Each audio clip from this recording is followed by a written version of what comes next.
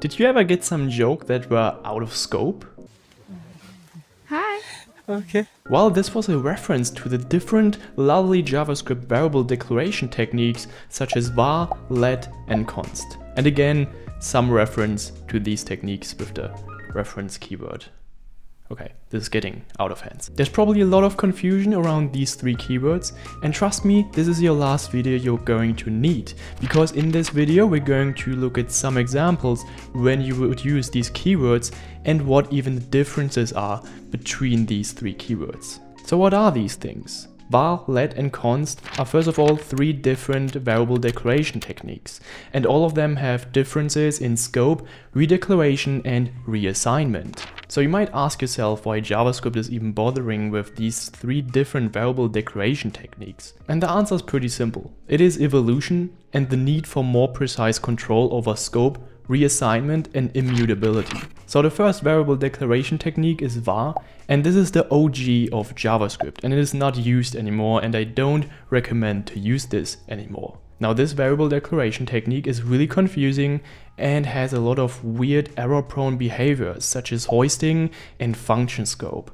The second variable declaration technique is let and basically it was introduced to fix all the issues with var and let introduces block scope, which I'm going to explain in a minute. Now the last one is const, which basically is also block scoped, but it needs to be initialized when it is declared, and it cannot be reinitialized later in the code. So let's quickly jump into some examples and maybe also some interview questions that might come up in your career. Now let's first look at some weird behaviors of the first variable declaration technique var. For that we are going to quickly define a function that is just called explain. And in this function we are just going to declare if condition that has no real condition, it just says true, so this is always executed. And in this condition we're going to declare a variable with the var keyword and assign it to 10. Then we are going to print the x after this assignment and declaration. And out of this condition we are also going to print x. Now if we call this function, what do you think might the output be? So if you're going to look at the output, it's 10 and 10. Now that's pretty strange, right? Because we just declared the variable inside of the condition and then printed outside of the condition. The issue is, like I said before, due to hoisting and the whole function scope. So what actually happens here with the var keyword or the var variable declaration technique is that this var x is basically hoisted to the top. Now what that means is that we say the following. Whenever we define something with var, it's actually bubbled up to the function scope or to the corresponding scope. That basically means that when JavaScript executes this specific code, the variable gets declared here but not initialized. And then it is initialized inside the condition then we're going to print it, and then we're going to print it again. And that's why it is pretty clear that both outputs are actually 10. Again, the reason is here hoisting. So the x bubbles to the function scope top, like this here. Then we initialize x with 10 in the condition, then we're going to print it and print it again.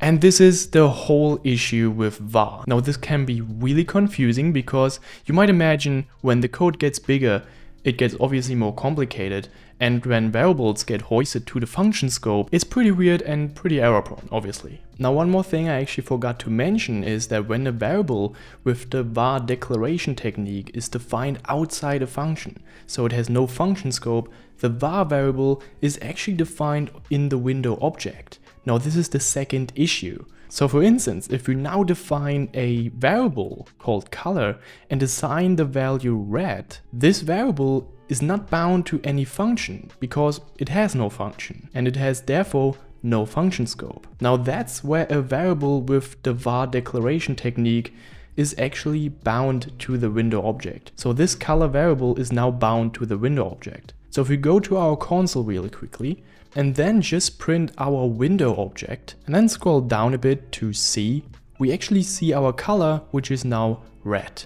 Now this is a real issue because these variables can be mutated in any way and also everyone can see these variables. And this is the second issue with the var declaration technique. Now let's look at the second example that might come up in an interview question. So for that, we are going to declare a for loop. And this for loop basically counts to three. However, we don't use let, we just use var.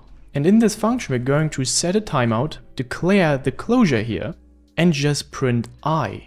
And the delay will be 1000, or the timeout will be 1000. Now what do you think will the output be of this specific code example? And maybe most of the developers might guess, okay, it might print just 1, 2, 3, right? I mean, that kind of makes sense, but not in JavaScript. Because what we actually see here is that the 3 gets printed three times. Now what is the reason for that? Now the reason for that is again the function scope. And again we use var here which basically means that this variable is hoisted to the top and we do not redeclare this variable, this i variable inside of the for loop, inside our set timeout, we actually use it again. Now what this means is that the var i is basically declared up here and then i is initialized and then i is always being incremented. And then obviously after one second we get 3 because i is reused and not redeclared here. Now we can fix this behavior by just saying let.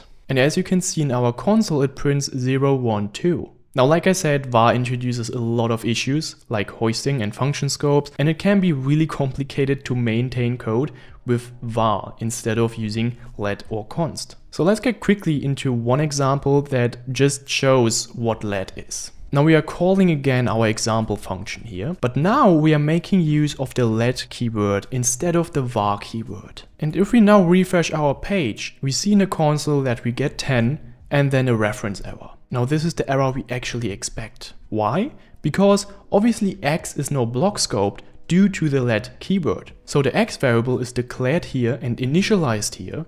After that, the output is being generated, so 10 is being printed, and then we actually get an error at the second console log statement due to the fact that x only exists in our if condition. So again, to reiterate here, let uses block scope and var uses function scope. Now the third one and the last one is pretty easy to understand because it's quite similar to let, however it cannot be reinitialized. So at the moment x can be reinitialized by for instance saying x is equal to 30. Now if we do that and look at our console, we get 30 because we declare x, then initialize it with 10, and after that we reassign x with 30. However, the third keyword introduces no reassignment.